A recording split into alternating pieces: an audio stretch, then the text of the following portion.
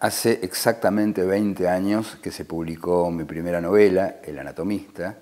y claro, yo miro para atrás y veo que era muy joven, tenía 33 años, y digo muy joven para ser un escritor. Ahora con muchísimo entusiasmo voy a empezar a, trabajar en radio este,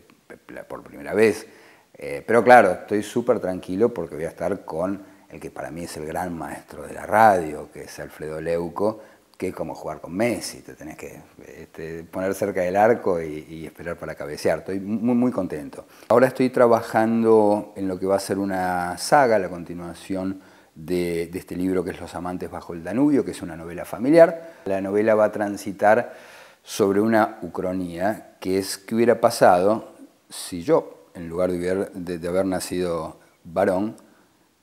hubiese nacido mujer, cosa que hubiera sido altamente eh, probable por otra parte, en todo momento eh, crítico, en un sentido o en otro, aparece en, una nación un, faro cultural que después proyecta este, esta cultura y la convierte en, negocios, en expansión y qué sé yo. Entonces,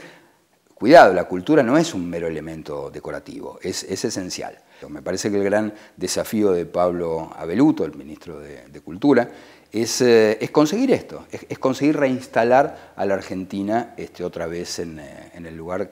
de donde nunca debió haber eh, salido.